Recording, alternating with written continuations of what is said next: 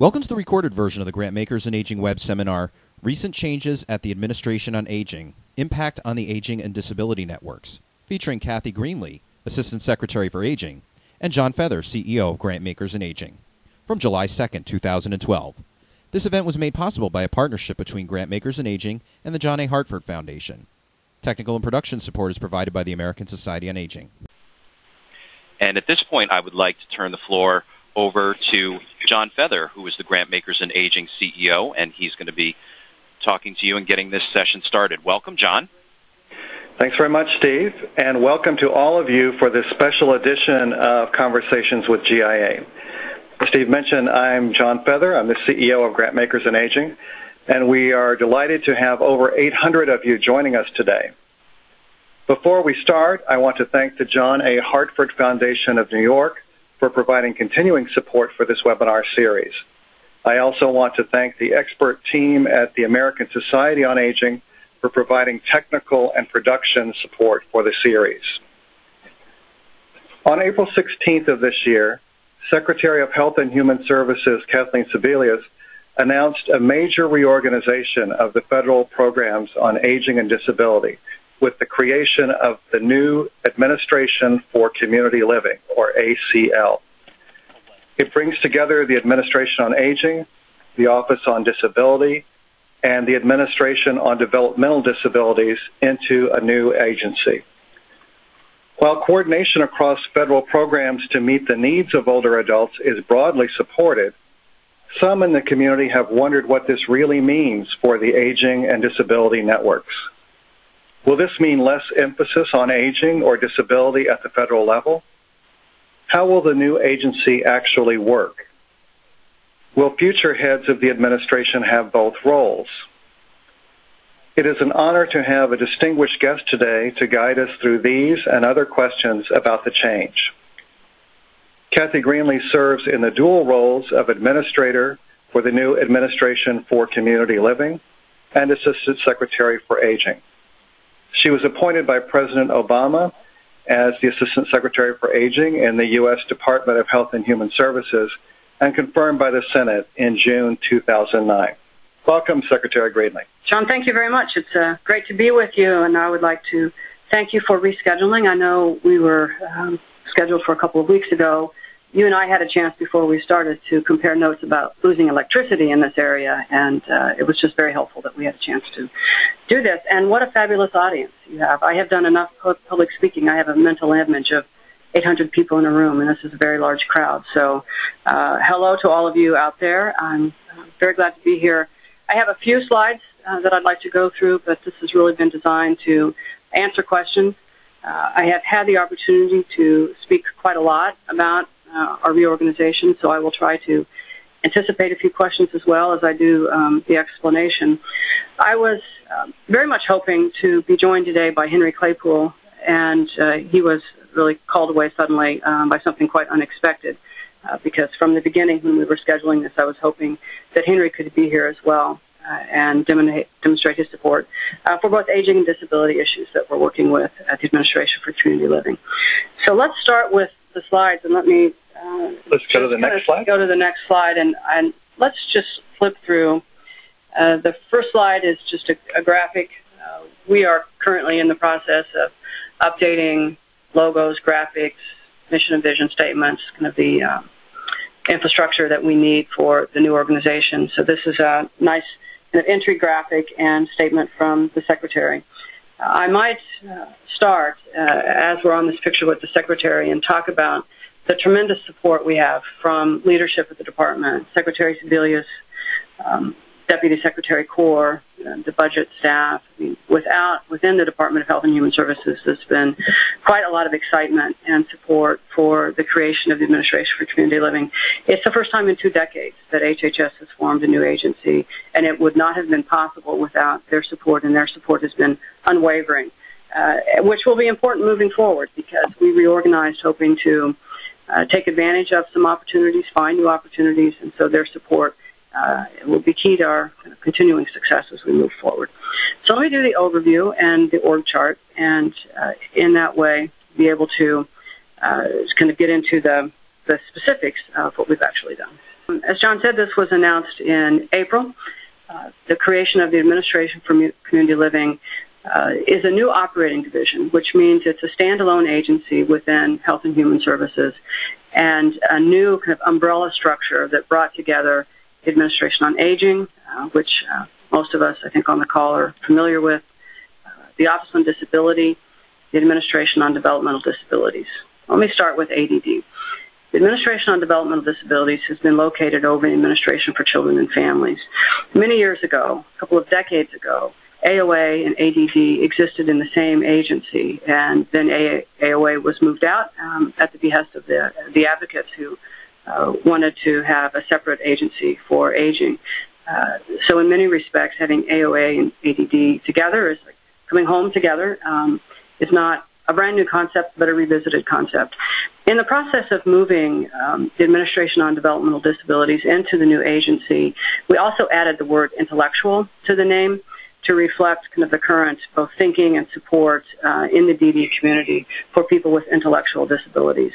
So as you will see when we do the next slide, the new name is the Administration on Intellectual and Developmental Disabilities.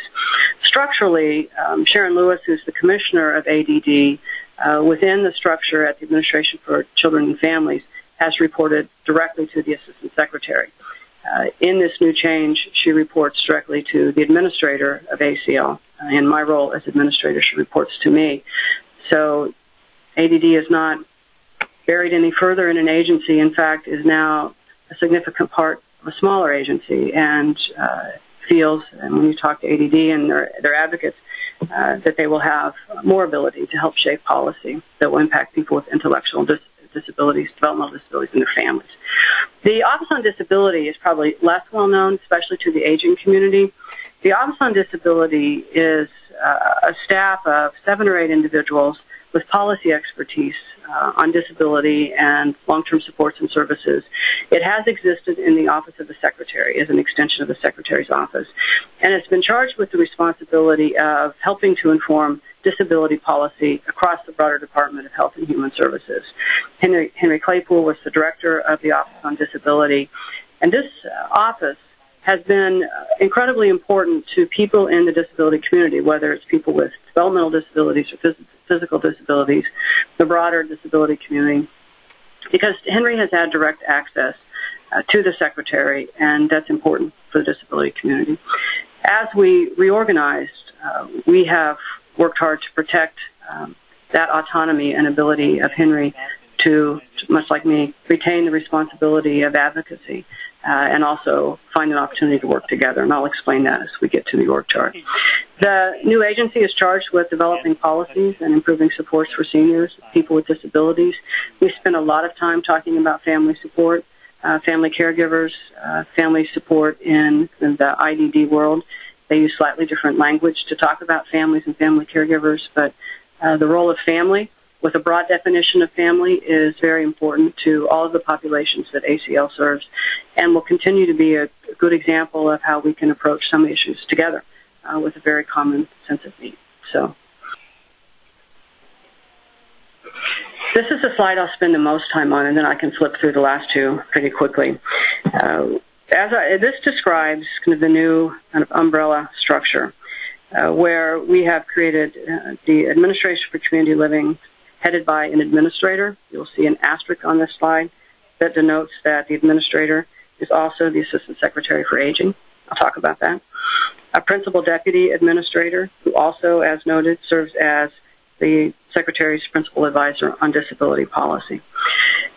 Henry Claypool and Sharon Lewis and I, the, the three leaders of these uh, kind of key organizations, wanted to find a way to build a structure that we could work together and wanted to do that in a way that would be respectful uh, and reflective of the different communities that we serve. You can't really, in a federal structure, just build a coalition. Uh, we already were working in coalition. We have felt for the whole time we've been uh, working in this administration it would be stronger together.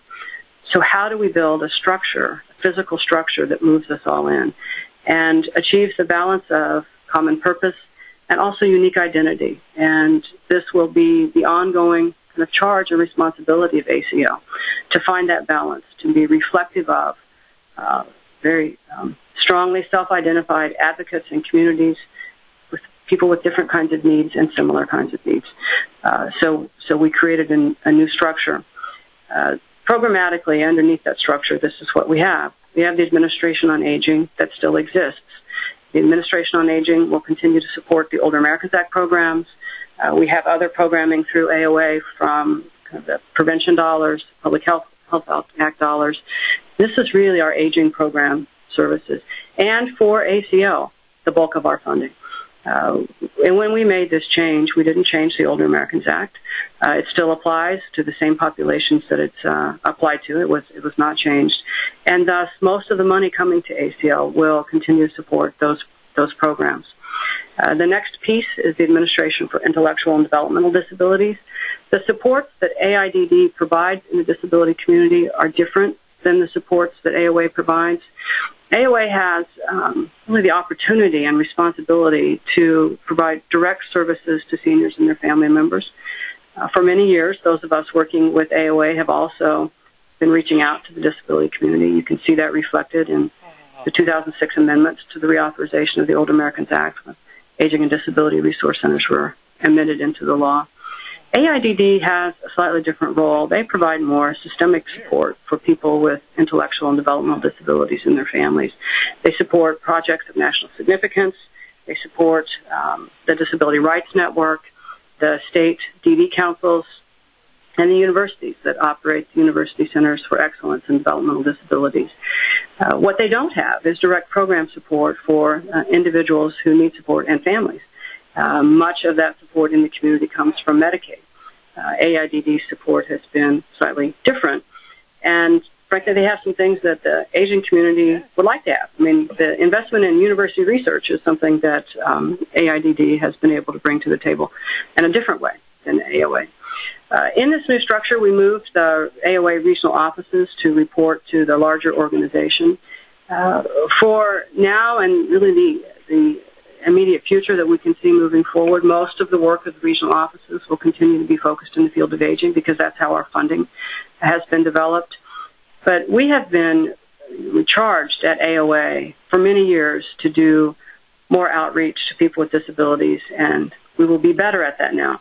Spending Older Americans Act dollars to uh, do a better job of, of partnering with disability community. Uh, you won't see until we can find another revenue source any uh, real strong ability to be able to staff up uh, with disability kind of expertise in the regional offices. So we will need to kind of cross train and grow and improve um, our base. This is a, a, better structural position for the future and helps us work on the integrated programs that we're currently running. Uh, AIDD has not worked in a, in a regional structure. They have worked with uh, states and the universities, disability rights centers out of Washington, so they're not kind of used to a regional structure. And it will be really an ongoing conversation with our various stakeholders about what will ACL's role be in the regions and how can we staff and support that role, uh, what is needed. Uh, and they may not be the same things for these different populations, uh, but that is why structurally we moved uh, the regions. Uh, not that it will feel much different on the ground right now, but for the strength of the organization in the future. Uh, we need to be able to represent all of our work outside of Washington. And I, having come from the middle of the country and a state government person for a long time, value regional work. I, I want to have a presence uh, in the regions. Uh, the next piece is the Center for Disability and Aging Policy. This is the shop that John Wren uh, has been running uh, and continues to run in this integrated way. Most of the Office on Disability, um, Henry Claypool's program staff have moved uh, into this policy office so that we can continue to carry out the mission of the Office on Disability, but the mission of the Administration on Aging, which is to uh, look for policies that we can develop and continue to look for innovation in all the different fields uh, represented by the new organization. And then we have a management and budget function. Uh, this has been moved out. Dan Berger has served as the director of that and continues to be kind of the HR uh, management side uh, that supports the larger organization. What we don't have, and let me talk about what's what's not here. Uh, we do not have in this structure uh, direct kind of formal relationships with the independent living centers. The IL community is, is, still supported out of the Department of Education. Uh, we have relationships with the People's Department of Ed, uh, but we don't have specific program dollars kind of in the field of physically disabled, other than some of the integrated programs that we're running. Uh, so let me talk about and uh, anticipate a couple of questions if I can. Let me talk about the name uh, community living and talk about what we have done and what we have not done. Uh, we never pursued or entertained the idea of adding disability to aging. Uh, states have done that. I know people on the call have questions about that. Why didn't we add disability to aging? We never felt that that was the right way to find the right balance, and my favorite word is equilibrium, across the fields. That it was not the way to, uh, I guess, support the work the best. Disability is its own field in its own right with its own history and should not be seen as an amendment to or an add-on to aging. It is different. Uh, there are commonalities, but it is different. And we need to create an organization that is respectful of these differences, finds what they have in common. But we need to reflect disability culture and aging culture and the people that we serve. States have done this in various in various ways. Uh, we needed a new place to all be together uh, and people who advocate for each of these different fields still need to advocate for the different fields. How do you build a new place that you can all be together so that you can get about the work?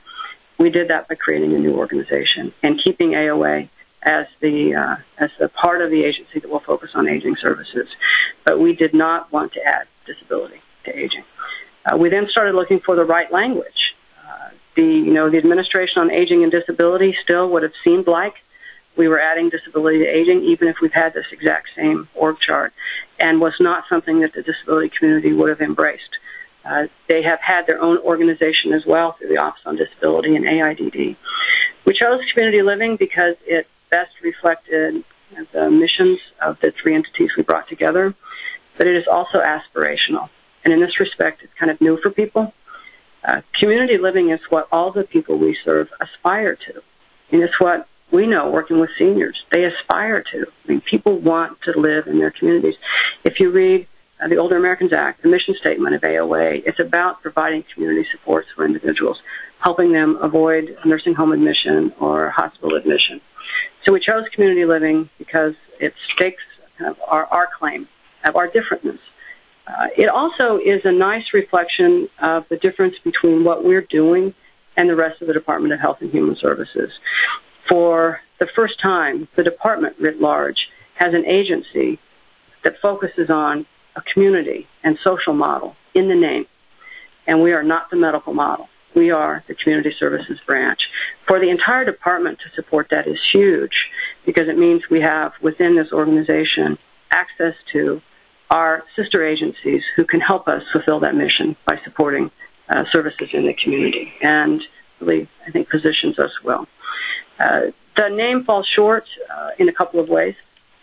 I think all of us from the various disability and aging communities, if we sat down and had a conversation, what do people need, would name pretty quickly mental health services. That mental health, uh, whether it's people with uh, kind of mental health conditions that are disabling, severe mental illness, people with depression, that's less disabling.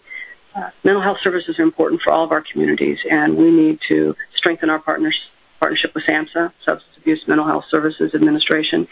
Each of us, the three entities, have separate relationships with SAMHSA. We need to shore those up and and find out as a new organization how those can be even stronger. The mental health services are very important. The other way that community living falls short is that we are still very much committed to the long-term care ombudsman program and the Older Americans Act and understand that we have a number of older adults in this country who live uh, in, uh, in an institutional setting or a congregate setting, and we have a responsibility to those individuals and have had under the Older Americans Act, and that will continue. Which is why I describe this as being an aspirational goal. It's what people want. Uh, certainly for the aging community, uh, there are times that, that they choose something different later in their life or something that they need differently. But it's what everybody has in common for their life goal, and, and that's why we chose the name. These were the um, pieces, um, last couple slides as a wrap up. I was hoping Henry could, could talk about as well, um, but we'll cover in his absence clearly. Uh, this seems quite new um, to people to have a, a new federal organization, uh, and in some respects it is, but in some respects it's not. That um, aging and disability populations have been moved together uh, at the local level, at the state level, in different ways, and different configurations. These are not communities that are foreign to each other. Uh, they exist differently in different states. Uh, we felt that the federal government, in some respects, was behind um, by not having uh, followed the lead of the states in finding a way to locate um, aging and disability together.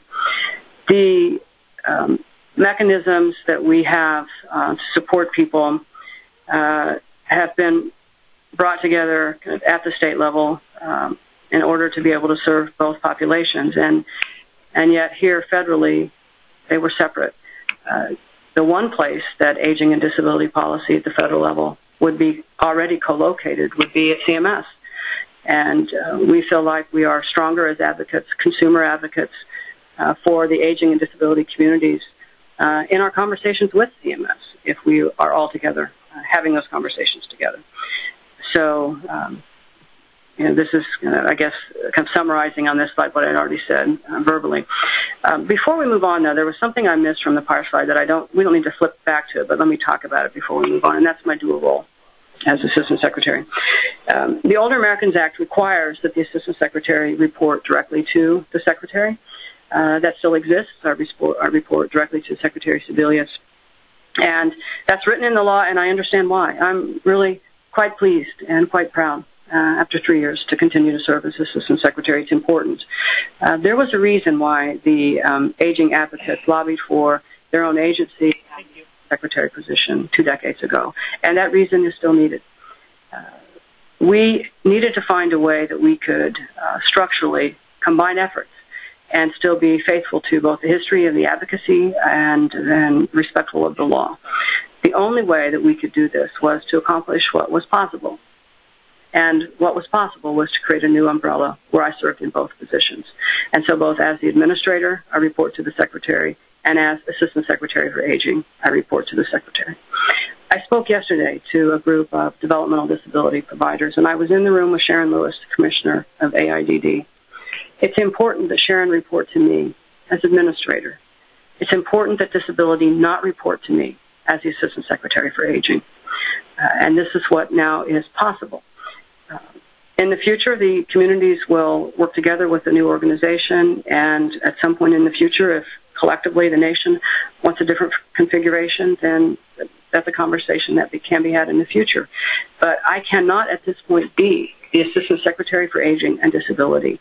Uh, that is a decision that the disability community must make. They have had their own designs over in the Department of Ed to elevate um, the, the work of the Department of Ed uh, to a higher level. Uh, the disability community has wanted um, something different for their future as well.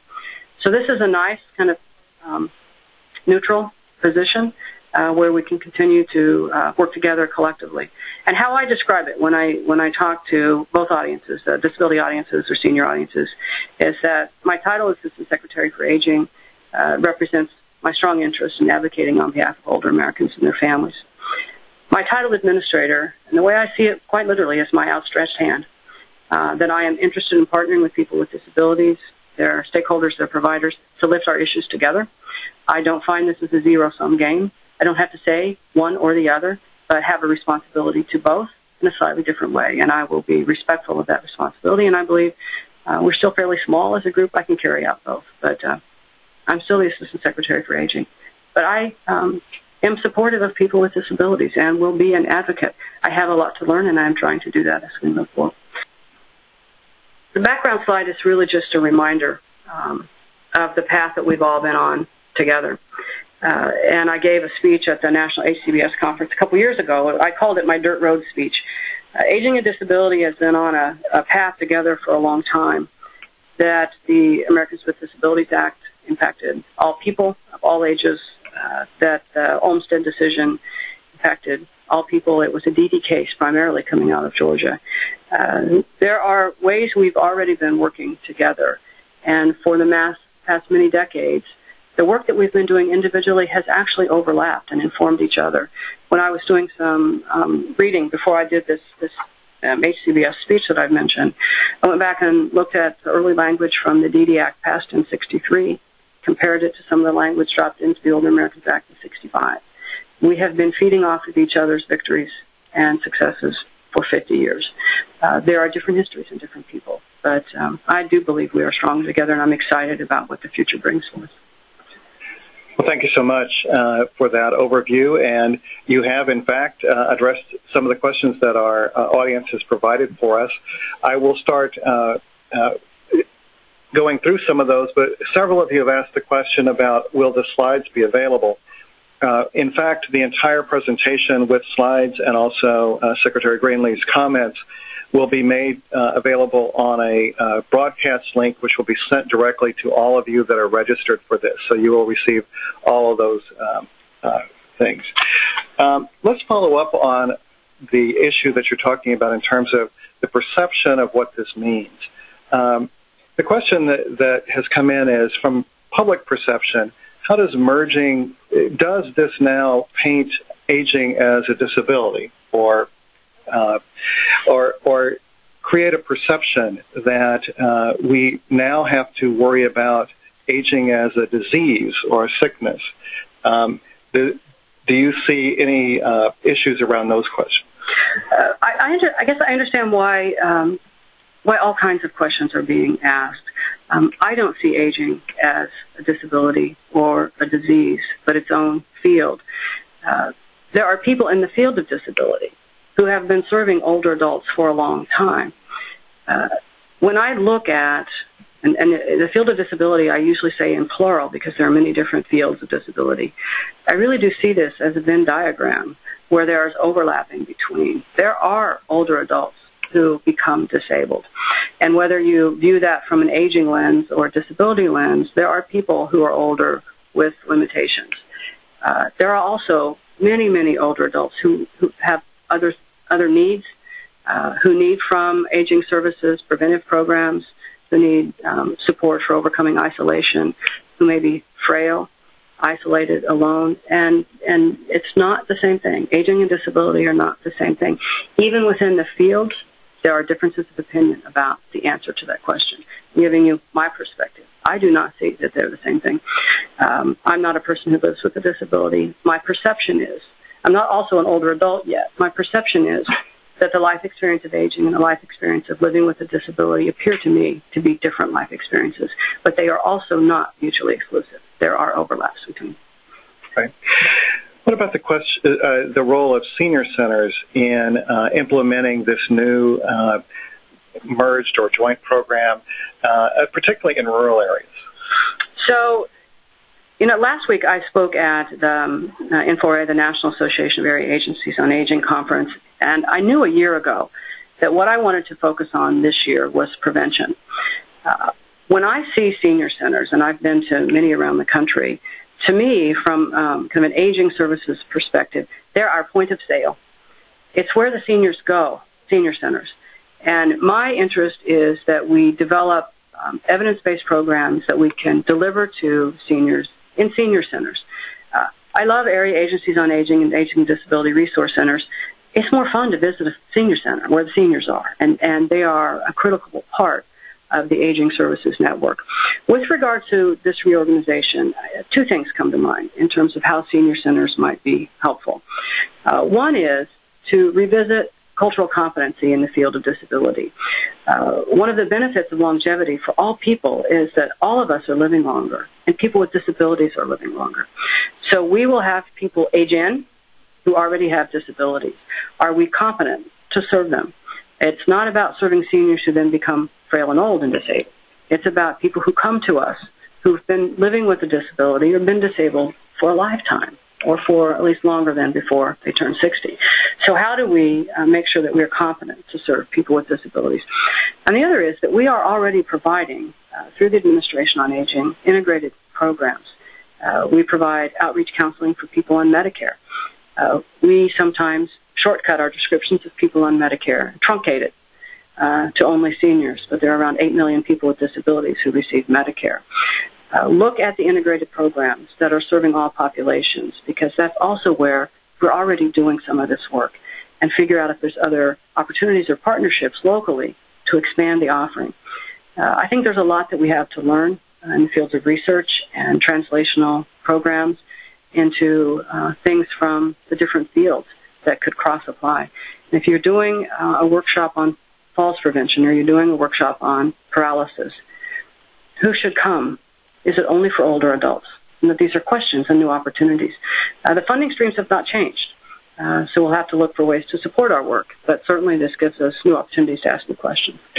Let's follow up with another question about the funding stream. Uh, does this consolidation imply that there will be more funding or less funding or exactly the same amount of funding as the combined pieces? Um, now that is a tricky question. This was a revenue neutral reorganization. So this reorganization did not bring with it uh, new money for ACL. We have the same budgets that we had separately uh, in a combined way. What we have been looking for uh, since the Affordable Care Act passed were opportunities for our networks to receive additional funding, not necessarily from the Administration on Aging or AIDD, but from the opportunities coming from the Innovation Center at CMS and other places. So the opportunities for more funding, I would say, uh, we're hopeful um, that the plan would be how can we advocate at the federal level for the community programs that we represent collectively so that as we develop policies within the broader agency, we can take advantage of them in our networks. The community care transitions work that CMS is doing is a good example in the field of aging, where we have evidence-based program for uh, for seniors and can implement those at the local level. Our partnership with the VA is a good example of an aging and disability program combined, where we are partnering with the VA to provide services to veterans of all ages to help them live in their community. So we will scout together for additional money. As we develop budgets together as ACL, we will also look at opportunities where we can um, put forth ideas for increasing funding for a specific line item or for integrated programs that would cover both. Lifespan Respite is a good example where the coalition that put together Lifespan Respite really did cross aging and disability. And that would be kind of the kind of program that we see would help everyone. But there have also been, in the last few years, program cuts at AIDD uh, in their ability to provide innovative funding for their projects of national significance, program cuts in Title IV at AOA. So we will need to collectively kind of address individual needs from individual programs and integrated needs uh, as well. So we'll see. Let's follow up on the uh, issue around integration of uh, programming at the federal level. And of course, we have the uh, Affordable Care Act, which is now uh, law and been upheld and is, is now being implemented. One of the questions that's come up then is how does this uh, program and this integration in the new administration affect dual eligibles, people that are uh, eligible for programming both under Medicaid and Medicare, and then how does that fit into the dual eligible um, programs that are being uh, talked about in the ACA? This is a complicated answer. I will try to be succinct. So I have to give you my premise in order to answer this question. I believe there are two huge transformational forces impacting seniors and people with disabilities happening right now. One is the transformation of the medical system in this country, the healthcare system. That is certainly completely entangled with the Affordable Care Act, but is also, I think, larger than the Affordable Care Act. Uh, this transformation will happen in communities and impact the people we serve. The other huge transformation happening is at the state level as states move rapidly to managed care for Medicaid long-term supports and services. These things are happening. Those transformations are not driven by any of the programs that AIDD runs or any of the programs that the Older Americans Act runs. They're just not. Uh, when you look at the opportunities in the Affordable Care Act, they are opportunities coming from other parts of the department, kind of going around us almost to the local level. By coming together, we have positioned ourselves as a combined agency to get closer to the conversations that impact our communities, even though they're not the conversations that we lead or the decisions that we make. Uh, we come to the table with CMS saying if you're making changes or approving things where a state is moving to Medicaid managed care, has that state engaged with the community? And then we go out to the community and say, you have to go to the table and talk. That we are a strong, we are aging and disability. We are a consumer organization for aging and disability, watching this transformation and needing to lift up to our federal partners what we see happening and, and calling to their attention opportunities for investment in our networks, but also real dire need for education and technical assistance as the networks change. So the impact with regard specifically to the duals is to make sure that we maintain strong communications with leadership of CMS about how much that transformation is causing uh, concern and how much questions, how many questions there are, and really requiring many in the aging and disability networks to think differently about what their business models are. And uh, this is a whole new world, and we want to be in the middle of translating uh, so that our networks take advantage and survive uh, this huge transformation. We've talked about uh, the important role of health and human services in this whole uh, arena, but this is a question about uh, linking to housing, particularly yes. affordable housing. So, how uh, does this agency position itself in terms of relating to uh, housing and urban development as a federal uh, department in terms of meeting the affordable need, needs of affordable housing with services for older people? Excellent question. Uh, the HHS has a strong collaboration, fairly formalized collaboration with um, Housing and Urban Development. Henry Claypool has been the main leader of that collaboration. If you if you look back, you'll see that the department has framed some of that work in something called the Community Living Initiative, where we could look at community supports, homelessness, uh, community integration. Henry's really our expert, and will continue to be the leader as we as we look at housing supports. Uh, one of the outcomes of that joint effort has been uh, the work of HUD to release additional vouchers for people with disabilities to have access to um, low-income housing. Uh, we also see that working with with HUD just creates more opportunities uh, as we work with states and local communities about everything from money follows the person to uh, what states are doing to comply with their Olmstead responsibilities. That housing is a critical support for all of the different communities. Uh, as you start to name the major federal agencies outside of HHS that that can benefit from or be impacted by this reorganization, I would put HUD at the top of the list. I've already mentioned the VA. Uh, I think that um, there would be some need to do additional work with um, the Department of Labor. Economic security for all these populations is something that the Department of Labor also works with, as well as Social Security Administration, of course. So there are other federal agencies uh, that work on areas of aging and disability, and we want to. Uh, I don't want to say re-engage. We're engaged with them, but we want to be stronger in that engagement by bringing these issues together. The next one is a question about uh, trying to meet the needs of the diverse communities that you, you serve, not only in terms of aging and disability now, but uh, also in terms of uh, ethnic and racial minorities, LGBT uh, folks, and others that have been traditionally disadvantaged. Uh, are there particular actions that you're taking in terms of the, the new administration on that issue? It's absolutely um, a, a, fundamental, I don't know, I'm kind of stammering because it's so important. I mean, it's absolutely a fundamental uh, concern and commitment of the department. Uh, we had been working at the Administration on Aging to support the Diverse Elders Coalition to bring together all of the different um, kind of minority communities, people of color, the LGBT community. I have been chairing uh, for two and a half years now the LGBT working group at HHS.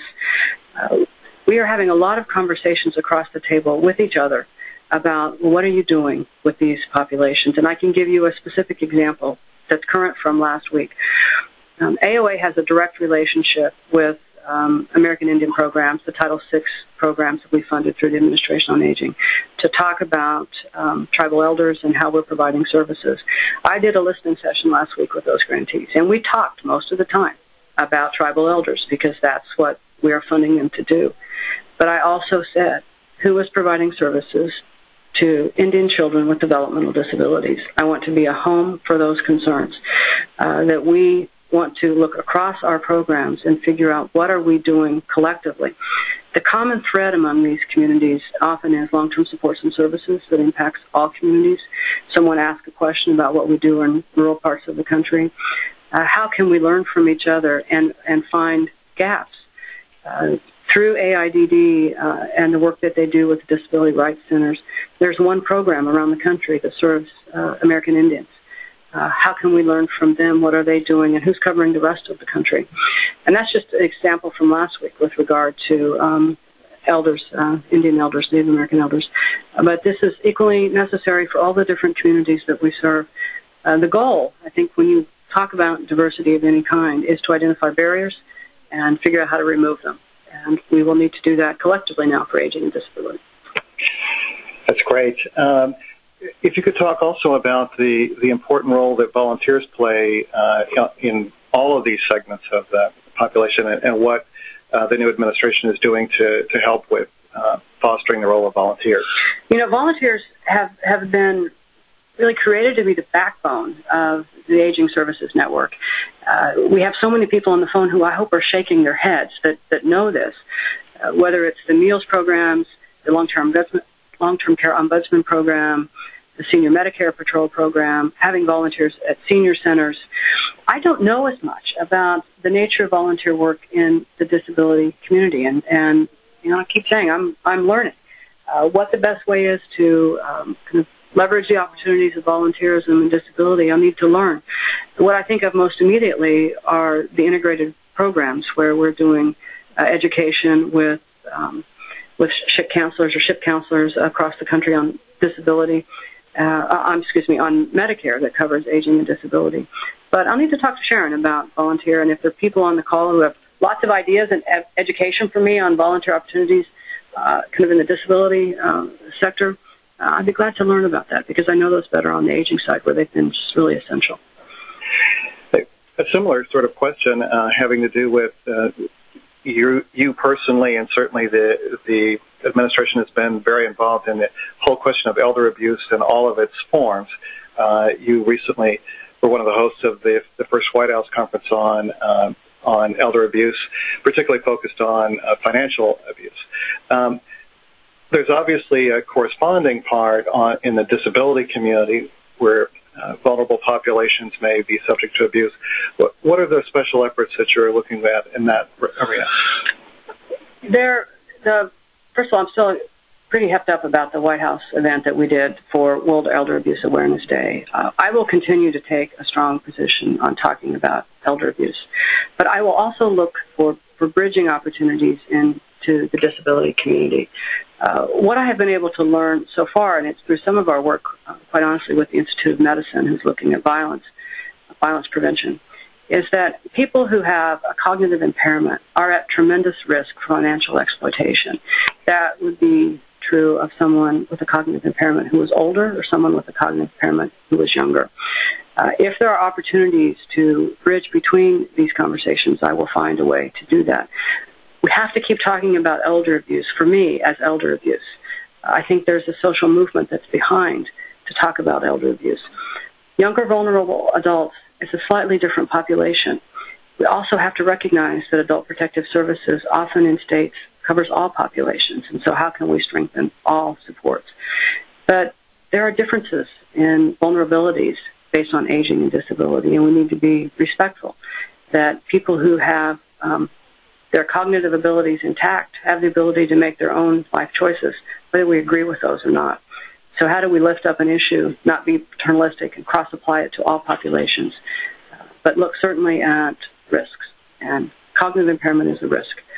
Uh, let's take that as an example, just someone with a developmental disability, really significantly cognitively disabled, and an older person. Uh, you could look at both of those and say there's similar risks there are different opportunities. An older person with Alzheimer's may have a nest egg that a younger person never had the chance to acquire.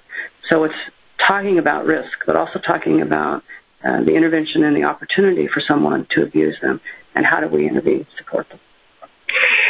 Another question that is similar in the sense that it, it, talks about the similarities and differences between the populations that you're serving, and that's uh, about the role of um, grandparents and caregivers in providing for services. So uh, certainly we know in the, the whole the whole question about uh, caregiver support in the aging population, and also the role of parents and grandparents in taking care of what initially were younger uh, disabled uh, persons, and now folks uh, who have now grown older, and and the challenges that that has. So, how do you see those uh, things similar and different? You know, I think that there there's a lot of similarity between the fields, but I don't think they're identical. But I but I do see um, more and more overlap. Uh, there are um, when we talk about the field of aging, we're typically talking about um, older adults taking care of each other, a spouse taking care of each other as a caregiver, or an adult family member taking care of an older adult.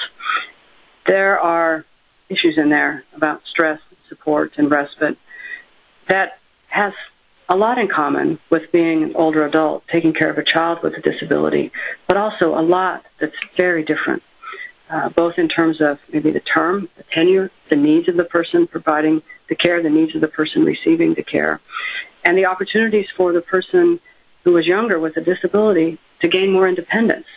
The person who's older is often losing their independence. There are differences, uh, but there are also similarities, and that's what I think is best reflected in something like the Lifespan Respite Coalition, uh, that, that all people need a break, that caregivers have so much in common in terms of doing this out of a sense of, of their love for their family member, their concern for their family member, but also their own needs, um, their own physical needs, their own uh, need to work.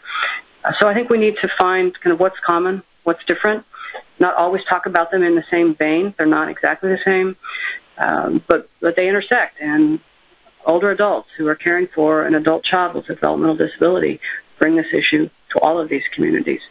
Uh, there is a need for life planning for both. And so it's, um, you know, I also have this, I can just throw this out.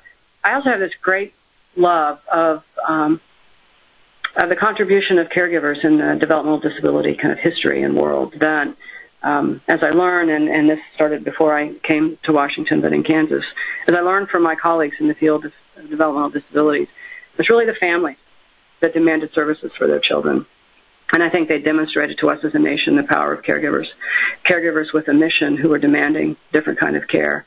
I hope that that sort of uh, inclination and motivation can translate to caregivers caring for a senior population because uh, they are a powerful force. They have demonstrated to us historically in this country that they can be. And uh, I think we have a lot to learn. That's a wonderful segue into what is going to be our final question before I allow you to uh, wrap up uh, today's session, which is how can uh, how can community members and advocates help to advocate for the work that you're going to be doing in this new administration? To I, I think the mission at every level is the same that I've articulated for the Administration for Community Living, which is to find a balance between recognizing the differences that people have and the commonalities that people have and not ever assume that everything's going to line up nice and tidy. There are differences between these communities. They have different histories. We have treated people with disabilities and seniors differently in this country. And there's a civil rights background in the field of disability that must be respected by the field of aging, and it's different. So how do we say, who are you? What do you need? And not try to make you like me, um, but find what we have in common and, and sit with that and, and learn from that. Um, as we have um, moved forward and talked about administration for community living, I just wanted to, I guess, end and share the feedback that we've gotten. Not everybody is completely happy, and I know that. Um, by and large, people are hopeful and optimistic and willing to be supportive because there's so much that we have to do that we can do together. And to the degree that we hear concern, we hear the same concern from all the populations. And this is one of those times where, you know, we all work on issues where you think someone's worrying about the wrong thing. This is not that case. I think that the concern that has been lifted to us is the concern that people should have and the one that we must be responsible for. And that's that people don't get lost. Uh, people in aging are worried because aging's not in the name. They don't want aging to get lost. People with disabilities have the same concern because there are more people who are old than people with disabilities. And there are huge budgets to support people who are aging. People with disabilities don't want to get lost. So our responsibility as leaders, our responsibility really both at the federal level and locally, is to do both. Is to make sure people don't get lost. And uh, and if we do that and we respect their differences, find what they have in common, I really do think we are really strong together. It's about helping people live good lives and having them connected to themselves and their community and the supports they need. And then it's not about trying to think that they're all the same. And if you love advocating for seniors, please keep doing it. And if you have specialized in advocating for children with developmental disabilities, do it. And if you're nothing about us without us from the physically disabled movement, go. Keep doing it. Uh, we will find the common threads. And I think that we will be stronger. Thank you for that wonderful summary. Uh, we want to remind everyone, because we continue to have some questions about this, that the whole uh, webinar today will be provided to all of you that have registered as a rebroadcast link. Uh, that it's also available to be reused by anyone who is interested, but it will contain both all of the audio as well as the slides, uh, so all of that will be coming to you. I want to thank Secretary Kathy Greenlee for joining us today. Thank you for your passion for everything you do to make life better for older adults and persons with disabilities.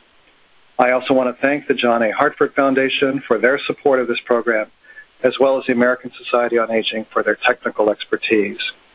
And finally, I want to thank all of you for your hard work and dedication to meeting the needs of the populations you serve. Thank you for participating in today's webinar and have a great day.